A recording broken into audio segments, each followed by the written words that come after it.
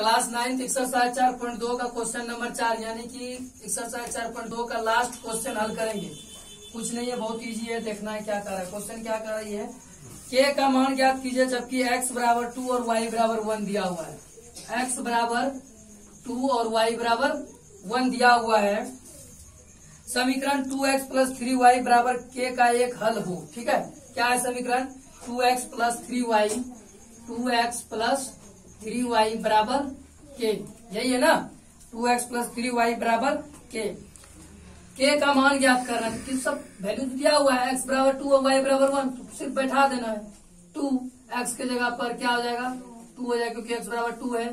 Plus three है। Y के जगह पर क्या हो जाएगा? वन। तो वन बराबर के। दो दूनी, चार प्लस तीन एकम तीन बराबर के, यानी चार तीन, सात बराबर के, यानी के बराबर यही हो गया सात। यही हो गया ना? और ये हो गया हमारा आंसर कुछ था इसमें? बहुत ईजी था। नेक्स्ट क्वेश्चन देखते हैं अब।